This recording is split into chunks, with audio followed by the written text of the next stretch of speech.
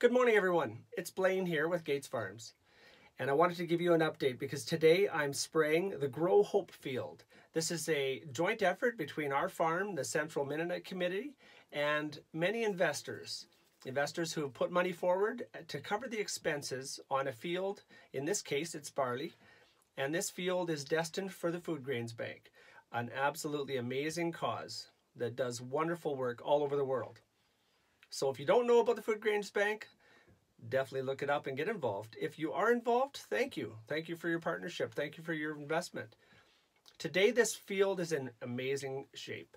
We've had a cold and dry start to the season, a little bit slower than anticipated, but we've had good heat the last week or 10 days, and wonderfully so, we've had a lot of moisture, enough to give us a super start the last seven or eight days. Now this is not enough moisture to carry the crop forward to the end. So everyone keep hoping and praying that the Mother Nature does treat us well.